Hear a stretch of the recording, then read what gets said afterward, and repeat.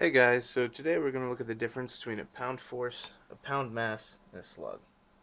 So first thing, pound force, as you probably guess, is a unit of force, whereas a pound mass, as you probably guessed, is a unit of mass. Slug is also a unit of mass.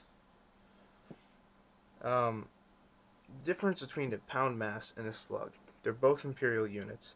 The difference between them is a factor of g, or in the English system, roughly 32.2 feet per second squared.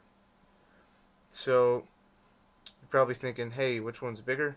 Well, one pound mass, sorry, uh, times 32.2 feet per second squared is equal to one pound force. Whereas one slug times 30, ooh, no, not 32, times one foot per second squared equals one pound force.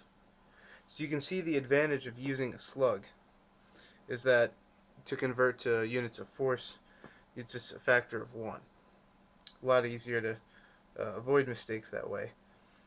But with a pound mass, um, you also take out that factor g. Uh, and you're probably thinking, if you're watching this video, you're probably using imperial units. Oh man, metric is so much easier.